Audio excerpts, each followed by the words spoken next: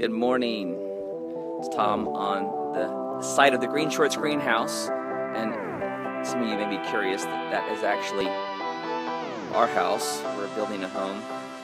Our builder here, uh, Luis Imery of Imery Group, is doing a great job for us so far. And I thought I'd take a few minutes this morning to show you what a house looks like when it's still flat. Behind me you can see all of the lumber for the framing portion of the job, which is going to start tomorrow, and we're really excited about that. This uh, bomb shelter behind me is going to start to look like a real house. So, I want to give you a quick look at what's here so you can see some of the cool stuff that's going to be used in the making of this house. So our subfloor is Advantech, which is a Huber product. And pretty standard subfloor, at least how it looks. One interesting note is that this is SFI product, Sustainable Forestry Initiative. It's a certification program that certifies that this wood is sustainably grown and harvested. You may also be familiar with FSC certification, which is the Forestry Stewardship Council. We're also using the zip system sheathing, and this is uh, it's got a an OSB, but it's impregnated with a vinyl layer. You can see the green layer here on this sheathing. That's going to provide an air barrier on the outside of the house. But this is unique. You can see we've got what's called R6. So the sheathing comes with no backing, but this particular zip has a R6 rigid foam on the back of it. Go down the stack here to one that's got a little opening on it. Wish I opened this yesterday to look at it. But you can see that we've got a rigid foam on the back of the sheathing that gives us an R6 value on the outside of the house.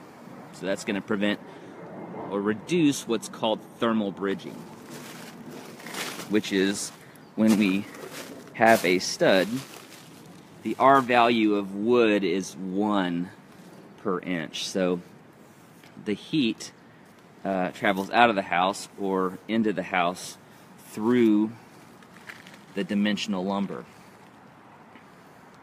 That's called thermal bridging. So by having that sheathing on the outside, that R6 on the outside of the house, that helps reduce thermal bridging.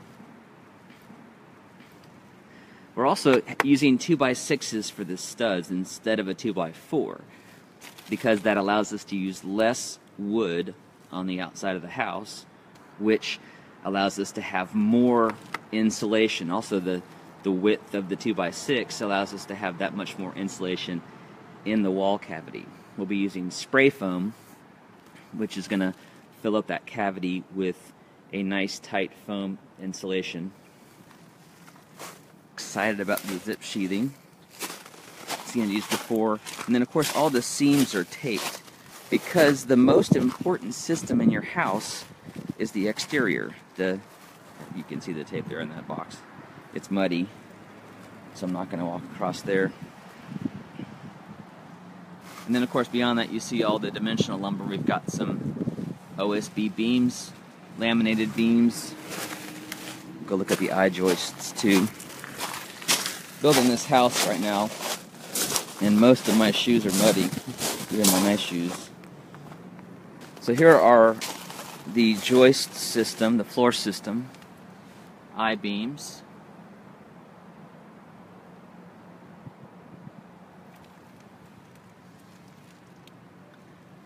And then these are our spans. So a couple spans in the house that we'll need to go across open, larger openings, and we've got these this engineered lumber that's going to let us cross those. So I asked the question to the builder this morning, Luis, to find out what uh, what we were doing with the roof. Zip will go on the roof line as well, but not the board. So we'll use the just the regular zip sheathing without the insulation on the back. We'll be insulating with spray foam all the way to the roof line. On YouTube, you can connect with the series of videos I'm doing about this project and that'll get into not only the products we're using on the house, but some of the unique and maybe even crazy things I'm doing to make it more green.